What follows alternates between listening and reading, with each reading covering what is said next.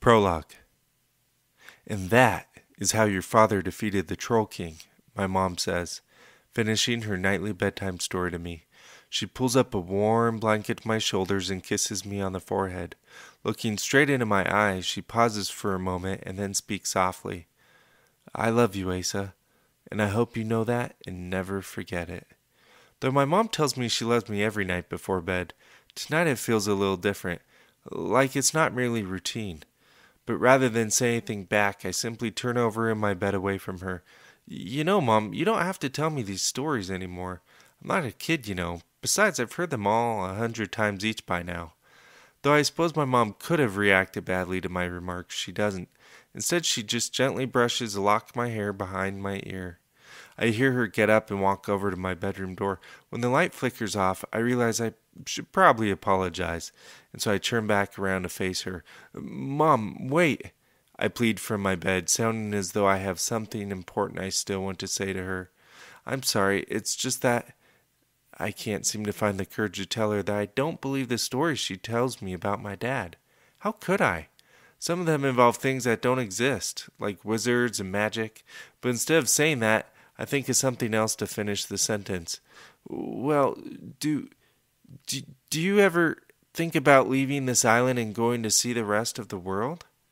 I don't really want to leave the island we live on, but it was the best I could come up with.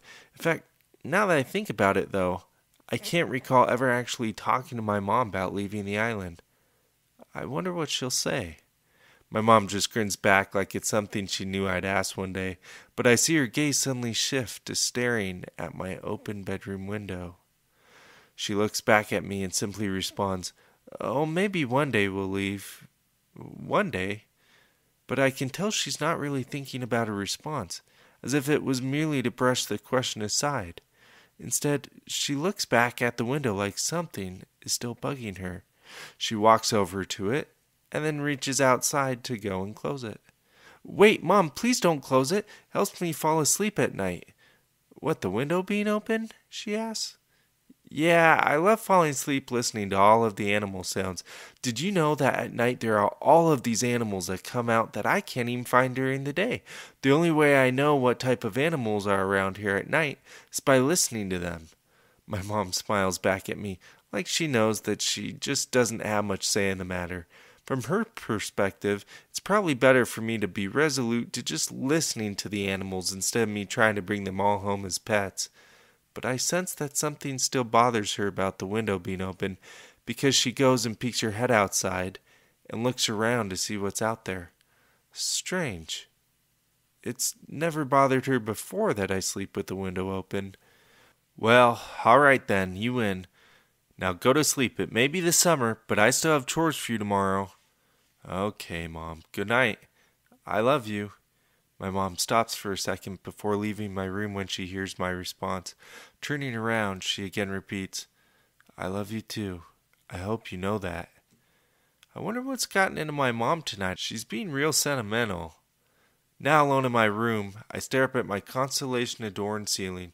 Listening to all of the animal sounds I hear, I try to think of what animals could be making the sounds and where I'd be able to find them the next day. Normally I hear crickets, owls, and other sounds coming from nocturnal animals, but as I yawn and turn towards the window, I realize that the sounds tonight are totally different. Birds? I didn't know that birds chirp at night. Weird. I focus on the birds as I close my eyes to drift off to sleep, trying to steer my dreams towards them rather than to the other scary dreams I often have. Birds. Chapter 1 Acea M. Bishop. Where am I? When I wake up, I'm lying on a cold red brick floor, staring up at an arched dome ceiling made of marble. My eyes slowly adjust, and an intricate painting on the dome above me comes into focus. In the middle stands a furious looking man surrounded by many, if not hundreds, of animals encircled in the mist of vines. The man is dressed in a long black robe and is waving what looks like a black wand into the sky. A lightning bolt is drawn crackling out of the wand and shooting up toward the top of the painting. All of the animals look terrified at the man's fierce demeanor. Even the crocodiles and tigers are running away. A chill runs through my spine when I wonder why something so terrifying is painted on the marble dome and why I awoke staring at it.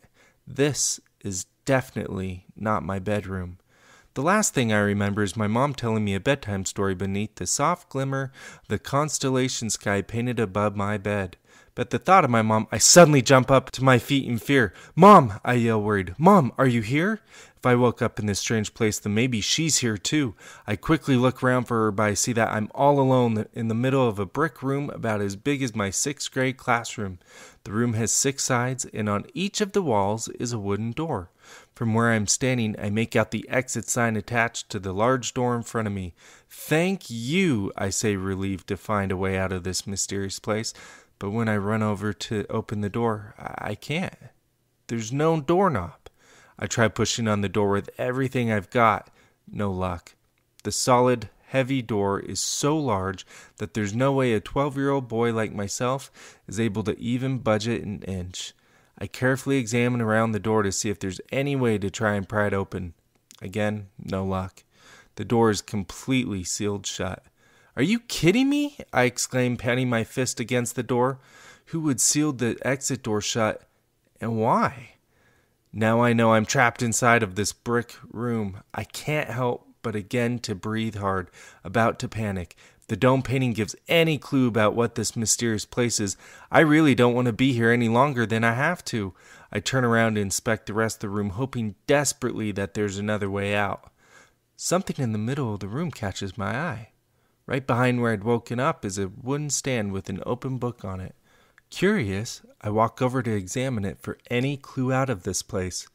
The leather, hardbound book is as big as a large atlas, and its aged binding and worn pages immediately stand out to me. It looks at least a thousand years old and is certainly covered in enough dust to prove it. I blow off the layer of dust from the open pages, interested to see if there's anything written or drawn inside. At this very second, I jump back at the sudden sound of a loud screech coming from behind one of the doors and echoing throughout the entire hexagonal room. Did I just hear a no, it, it couldn't have been. A gigantic bird? My hands begin shaking uncontrollably in fear. The animal sound is as terrifying as the dome painting overhead. I try to calm down, knowing that I need to focus, but I'm going to find a way home. Standing over the ancient book, I close my eyes and just breathe for a moment. I try hard to find strength by thinking of my mom, Vivian. Ever since I can remember, it's been just me and my mom. My dad, William, left us when I was just a baby. Growing up, my mom often told me that I looked just like him and that one day I'd be just as strong and as gifted as he is. I never understood why my mom spoke so lovingly about my dad. He left us after all. She'd even tell me bedtime stories about all these crazy adventures that my dad would go on. I didn't really believe them, though. Instead, I just figured my mom was just telling me made up stories to help me believe that growing up without a dad wasn't so bad after all. Be strong, I say to myself, thinking of the confidence my mom has in me. I'll find a way out of here. There's got to be a reason why I woke up in this mysterious place, and maybe the book has the answer. I open my eyes and look back down at the ancient book.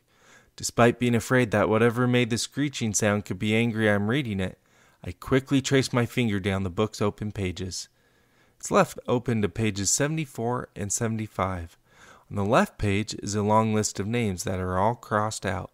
The names are written in a cursive handwriting and look so old that I can barely figure out some of the letters, let alone how to pronounce most of them. But among the names are Muhammad ibn Qasim, Owain Glyndwr, John Cabot, Gaspar Corte Real, and Amy Duboc de Rivry. On the right page, the crossed out names continue down toward the middle of the page George Bass, Theodosia Burr Alston, Cochator Oblivion, and Frederick MacDonald. The last name crossed out on page 75, though beautiful sounding, isn't any easier to pronounce. Emmanuel Blanquesau. Below Emmanuel's name is a short list of names not crossed out. And when I read the first one, my heart stops. It's my name Acea M. Bishop. Chapter 2 The Five Doors. What? At least my name isn't crossed out, right?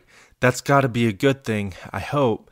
And as if my middle initial on the page is really even necessary, though, because I'm pretty sure that in the whole world, I'm the only Acea. My mom told me that my father wanted to name me Ace, but that she thought it sounded too much like a pilot's name. According to her, she wanted to name me Ezra, so eventually they compromised on Acea as middle ground. Not to say that Ezra would have been any better, but I wish my parents had thought about how this would affect the rest of my childhood. I can't even count how many times I've had to repeat my name to school teachers or other laughing kids. Ace, uh, I'd speak slowly, trying not to be annoyed for the hundredth time. Why is my name written in this ancient book, and why is it next on the list? Below my name on page 75, there are just two more names left that are also not crossed out. But that's it. Nothing else is written in the book. Even all the pages are left blank except, oddly, for numbers on the bottom corners. The page numbers end at page 125, exactly 50 blank pages after the one with my name on it. I wonder if this old book has a title.